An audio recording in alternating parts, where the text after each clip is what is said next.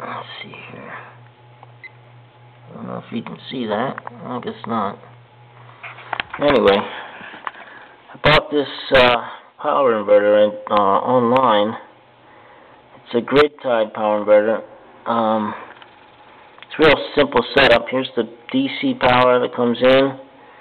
It plugs in right into the wall outlet, and it sends all the power back into the grid. Um, right now it's not sending in so much because it's uh, this is a 250 watt power inverter, but I only have the uh, let's go outside. What I got is the three uh, Harbor Freight panels.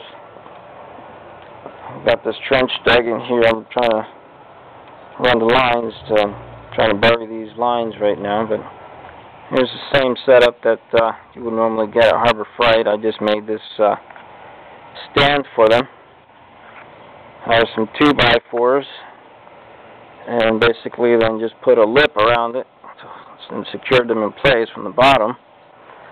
Uh, like I said, this still needs to be, uh, I guys just set it up basically just to test it, but I need to wrap these wires up a little bit cleaner and protect those wires a little bit better. And I had a wire was too short, so I had to put this splice here, and I did was I had a little 5 watt panel over there that I decided just to hook up just to feed in a little bit of extra power to it, but yeah, that's pretty much it. It's only 50 watts total with the little one back there. Um, power runs into the house right now, into the window. It's, it's kind of a ghetto setup, but, you know, like I said, I have it hooked up for testing. And uh, I've had it hooked up now for about a week like this. Uh, it doesn't really rain that much out here in Arizona, so I really haven't had a problem with that. So, um, but uh, I'm looking to add um, some uh, two 130 watt panels because that's what normally would have came with that little uh, power inverter. Um, I saw them at a Kyocera website for I believe it was $3.99 a piece, which isn't too bad considering.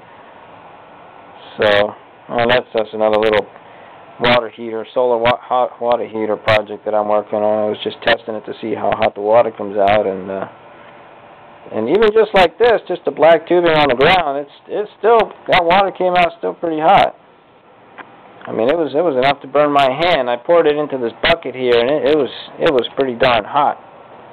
So I can just imagine when it what how hot it's going to come out once I make a box and seal it up real tight.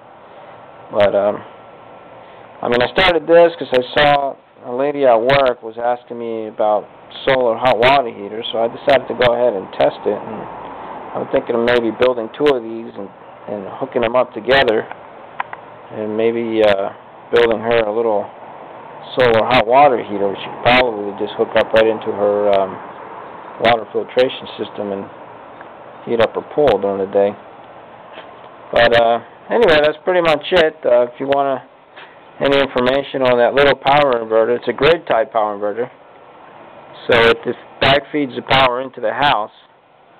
Uh, like I said, with these panels here, it really isn't, really doesn't feed back that much power. I mean, the little gauge that I had there was showing like a 0.01 amp. It and these supposedly are rated at three, but I don't know. It's just just not giving out what the what the manufacturer said. But anyway, if you have any uh, questions or comments about the setup or anything, let me know.